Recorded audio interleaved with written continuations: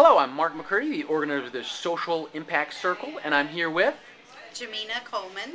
Jamina. So, what did you learn? What did you get from today? Oh, Mark, this was my first time here at Social Impact, and I've met the best people I could possibly. I mean, I'm just, I've been here 45 minutes after uh, it was over because I'm just engaged in so much conversation and so much collaboration, and I'm looking forward to next month's meeting. Fantastic. Well, thank you for coming, and we look forward to seeing you next month. Thank you, Mark.